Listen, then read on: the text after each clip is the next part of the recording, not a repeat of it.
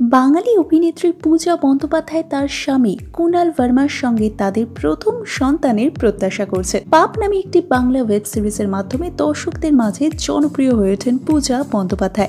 তারপর অনেক দিন পর দেবীর সাথে হইচই আনলিমিটেডেও তাকে অভিনয় করতে দেখা গিয়েছিল। করোনার প্রকোপ শুরু হওয়ার আগে পূজা মা বৈষ্ণো দেবীর শুটিং করছিলেন। কিন্তু তারপর সেই প্রজেক্ট তিনি আর করবেন না বলে জানিয়ে দেন। তখন অবশ্য কারণ নিয়ে সকলের মনে ছিল ধোয়াশা তবে এই দিনের ঘোষণার পরে স্পষ্ট হয়ে গেল, করোনা আবহের সন্তান এবং তার সুরক্ষার কথা ভেবেই এই শুটিং থেকে তিনি নিজেকে সরিয়ে রাখছিলেন। দু হাজার কুড়ি সালের পনেরোই এপ্রিল কুনাল বর্মা এবং পূজা নিজেদের গাঁটছড়া বাঁধতে চলেছিলেন ট্র্যাডিশনাল বিয়ের অনুষ্ঠানে। কিন্তু লকডাউনের কারণে সেই বিয়ে বাতিল হয়ে যায় এবং তারা সেই অর্থ দান করেন অভাবীদের মধ্যে। একটি লিডিং টেলিভিশনে ইন্টারভিউতে পূজা জানিয়েছেন, তাদের সন্তানের জন্মের পরই কুনাল এবং তিনি ঘনিষ্ঠ বন্ধুবান্ধব এবং আত্মীয়দের উপস্থিতিতে তাদের বিয়ে সারতে চলেছেন। গর্ভাবস্থায় পূজা তার স্বাস্থ্যের কীভাবে যত্ন নিচ্ছেন, এই প্রশ্নের উত্তরে তিনি জানিয়েছেন, তিনি তার মা এবং শাশুড়ি মার নির্দেশে খাবারের ডায়েট মেনে চলছেন, যার মধ্যে রয়েছে দুধ, ঘি, শুকনো ফল এবং সবুজ শাকসবজি। গত ন বছর ধরে বন্ধু কুনাল ভার্মার সঙ্গে ডেট করছিলেন পূজা। এবছরের শুরুতেই তারা তাদের বাগদান পর্ব সেরে নেয়। তারপরেই আসে সুখবর। সম্প্রতি বেবি মাম্প নিয়ে ফটোশুট করলেন পূজা বন্দ্যোপাধ্যায়। ফটোশুট চলাকালীন নানান মুহূর্তের ছবি ও ভিডিও এসেছে প্রকাশ্যে। নজর রাখুন আপনারাও।